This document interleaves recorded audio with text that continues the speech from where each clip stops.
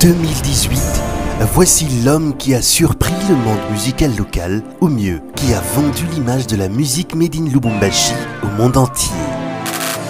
Majus, l'artiste qui a trouvé la formule magique pour faire vibrer le cœur de ses mélomanes.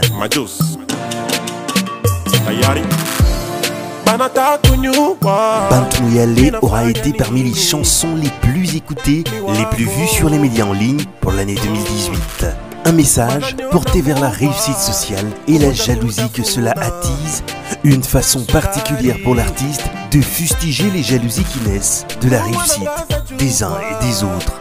Grâce à ce nouveau morceau bien apprécié, Majus a davantage élargi son rayon de prestations scéniques vers d'autres pays africains et aujourd'hui est retenu pour bien de récompenses au niveau international.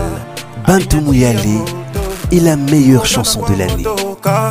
Motoka nauza kamyo kamyo nauza nyumba na mambango unyache. Bantu muyale bantu muyale.